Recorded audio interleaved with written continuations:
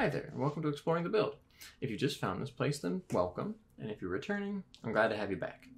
I'm Alex, and this is my channel where we theory craft and create different character builds for Dungeons & Dragons 5th edition.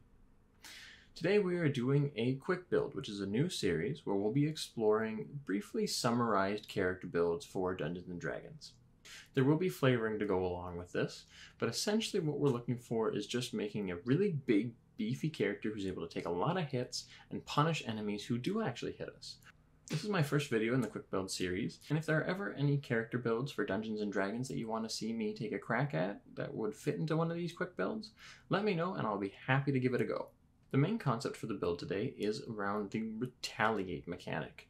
Retaliate, or sometimes called Thorns, is a mechanic that appears in a variety of different games, and the essential idea is that we want to be able to deal damage off of our turn, usually by just dealing automatic damage back to any enemy that hits us. Now, usually those types of builds are very melee focused, so that means that we're going to have to build a very big frontline tanky character to be able to soak up a lot of hits to actually deal the retaliate damage back. By the end of this build though, we're going to be able to have a very effective tank slash damage dealer character with an average of 243 health, effectively 40 temporary health at at least the beginning of combat, and we can deal an average of 27 damage on our turn and 15 damage to an enemy every time we get hit. That's not even from an attack. To start off, we're going to jump right into character creation. So for the lineage from this build, we're going to want to pick something that gives us a fair number of good features, and that is going to be Tiefling. Now, Tiefling itself doesn't give us the exact features we want right away, but by taking the Tiefling specific bloodlines from Mordenkainen's Tome of Foes, we actually can pick up the features that we want right away. Namely, we're going to go with the bloodline of Levistus, or Levistus, I suppose, depending on how you pronounce it. What that bloodline gives us is that it switches out the Thaumaturgy cantrip and Hellish Rebuke spell we would normally get from being a Tiefling, and instead we get Ray of Frost as our cantrip and Armor of Agathys as our spell. We can actually cast Armor of Agathys as a second level spell this way, and of course we only do it once per day, and it doesn't count towards any spells known, so even if we have spell slots, we can't cast it with those yet. We're not going to worry about that too much right now. Just know that the reason we're taking Tiefling for this is because we want Armor of Agathys, and Bloodline of Levistus allows us to do it. For the actual theme of this build as well, even though I'm not going to touch on it too much, I do like the idea of this Tiefling with the Armor of Agathys spell being essentially just a big frost demon, whether they are themselves a frost demon or they're descended from some sort of icy devil or demon from the plane of Levistus. For our ability scores, we're going to actually want to use the optional feature from Tasha's Cauldron of Everything that lets us redistribute the ability score increases we'd get from our lineage to whatever we want. So that essentially means that we get a plus 2 to an ability score of our choice and a plus 1 to a different ability score. We're going to put the plus 2 into Strength and the plus 1 into Charisma. With that in mind, we should have the following array of ability scores. 17 Strength, 14 Dexterity, 14 Constitution, 8 Intelligence, 8 Wisdom, and 13 Charisma. Since our background for this isn't too important, you can pretty much pick what you want, but really we're just going to jump right into the actual level breakdown of the build. Now we're going to summarize these levels, so really we're just looking at levels 1 to 4 right off the bat, and for those levels we're going to start off as a Barbarian. Even though I said we're building around the Armor of Agathys spell, that spell can actually kind of work with Barbarian, and I'll talk about that why as well when I get to talk about the spell. But all you need to know is that for the first four levels, the only choices that matter are our subclass and our ability score improvement. For our subclass, we're going to pick Path of the Ancestral Guardian as our Barbarian path. It gives us the Ancestral Protectors feature, which is a mini taunt-like feature that basically just de-incentivizes enemies from attacking our allies and makes them want to focus us.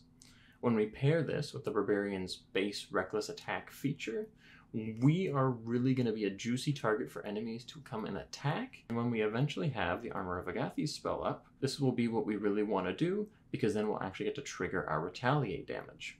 At level 4, we're going to get to pick an ability score increase or feat. And we're going to pick a feat. We're going to go with the Tiefling specific racial feat, Infernal Constitution. Infernal Constitution is also a half feat. That means we're going to get to bump our Constitution by 1, putting it now to 15. We also get a couple benefits like resistance to both poison and cold damage, as well as advantage on saving throws against being poisoned. So here, we're going to talk about why we're building with the Armor of spell and why we picked what we did from levels 1 to 4. Our build actually came online at level 3 when we got the Tiefling racial ability to cast Armor of Agathys, at least once per day, but at second level.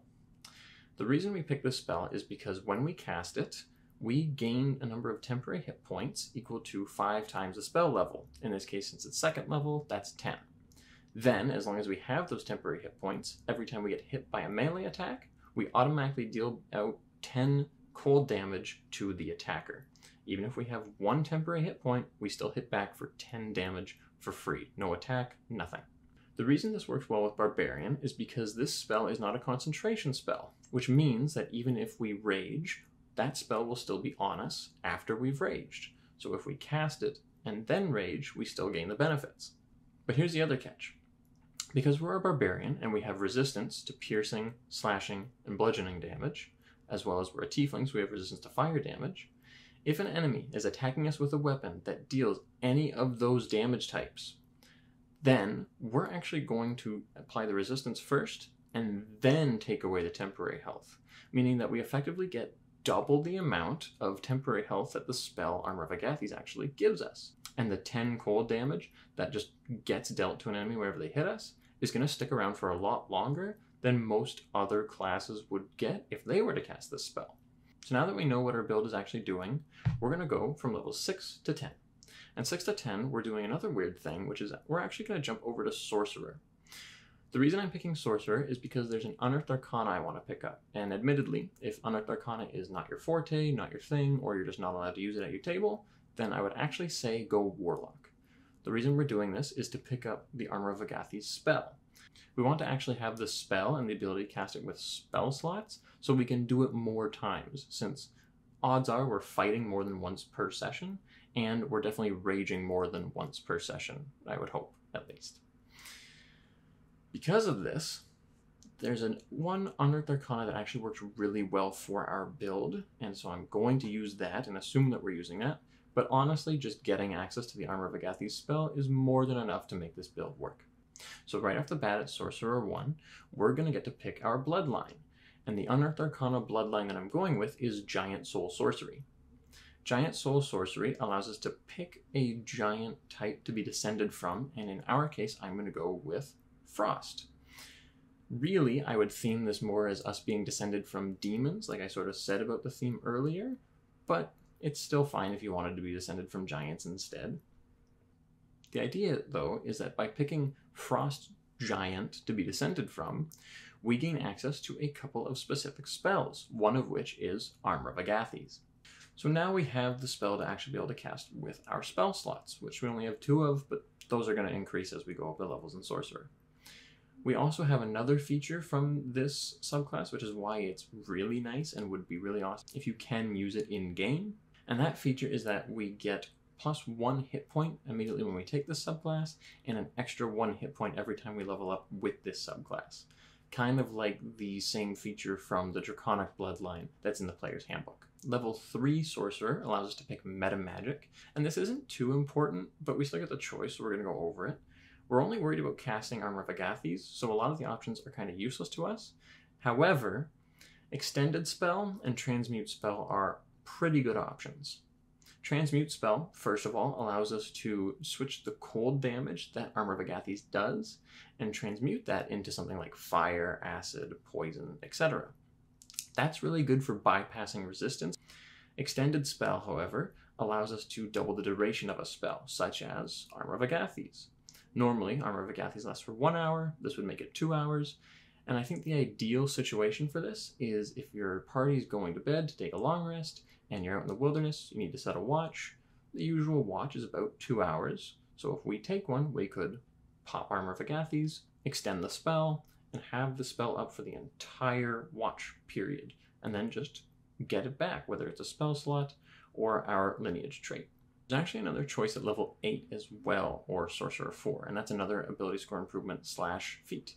Here we're going to just improve our ability scores because we have Strength, Constitution, and Charisma are all uneven, which means that we would really like to even some of these out at least, so that way we can get some numbers being. So that way we can get some scaling going. All we're going to do here is improve both our strength and constitution by plus one. So we now have 18 strength, making our attacks relatively good, and our constitution to 16, giving us a little bit more health as well.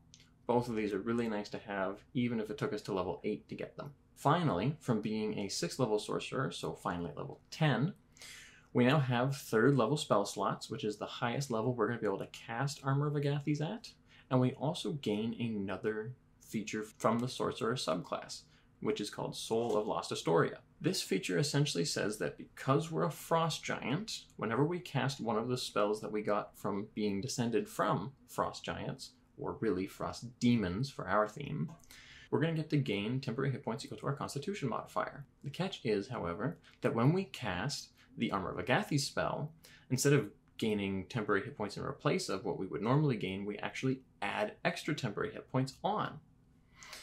This means that we can actually get out an extra hit, possibly, or at least have the hope of extending our temporary hit points from the spell for that much longer to get a little bit more retaliate damage out of it. After our little jaunt and sorcerer, we're going to go back to barbarian for level 11 and then just stick with that for the rest of the build up to level 20. We're going to end off as a barbarian 14 and a sorcerer 6. Any ability score improvements or feats are just going to go right back to our ability scores, or at least giving us more health, to be honest. We're kind of okay calling our strength as capped at 18. You could move it to 20 if you want, but we're not too worried about that. Really, what we want is more health to be able to give us one, more health in general, so we can stay up in the fight longer, and two, improving constitution is going to also improve the number of temporary hit points we get from Armor of Agathys. At level 14 Barbarian as well, we're also going to get the Avengeful Ancestors feature, which builds off our Spirit Shield, which I haven't talked about yet. Spirit Shield comes in at Barbarian 6, or in this case, level 12 for us. And that says that we can use our reaction to reduce damage that an ally of ours takes by 2d6. Kind of small for a level 12, for a feature that's coming in at level 12, but it's not too bad. And the real reason we like it is because what happens with Vengeful Ancestors. This is kind of our capstone ability, but it's still pretty good. What Vengeful Ancestors does is that when you reduce damage, that reduced damage is now 4d6, first of all, but the amount of damage you reduce, aka the number you roll from the 4d6, is actually going to be extra retaliate damage that the enemy who attacked our ally takes. It's force damage, so it's going to be pretty good for bypassing resistance, and it's really just an extra source of retaliate that doesn't hinge on us taking damage. So that's actually really nice to have as well. And beyond that, that's the build. So let's look at what we have. At this point, assuming that we've made it this far into the build, or at least that we've gotten to the spot where we had the third level spell slots, Armor of Agathys has kind of been maxed out. The rest of the levels of Barbarian were just to help the scaling, as well as gives a little bit more temporary HP and some extra damage from Vengeful Ancestors, but Armor of Agathys is really where we shine. With a modifier to our constitution of plus 5, we effectively cast the Armor of Agathys spell as a level higher than what we're actually casting it at. So that means like if it's first, it's actually second. If it's second, it's actually third. If it's third, it's kind of fourth. The damage doesn't increase, but the health does, and that's what matters.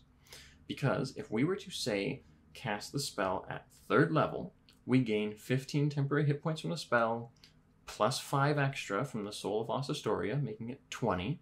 Our resistance would effectively make that about 40.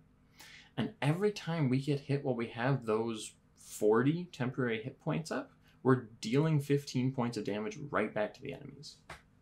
This is really cool and it's actually going to be really helpful given that that's no investment on our part. We just have to get hit the rest of the time we're just a barbarian doing barbarian things and actually protecting our allies pretty well. But as soon as we actually get hit, we're going to punish that enemy for having the audacity to try and walk up and attack us. We are a real menace on the battlefield, which is why I think the theme of a frost demon or a descendant of a frost demon fits so well. We're just big, tough, and really kind of mean. Other than that, that's the entire build. Let me know what you thought of it in the comments below. If there's anything you would do to change it to more closely fit the retaliate sort of theme. Thank you for joining me on the journey, and I hope to see you in the next one.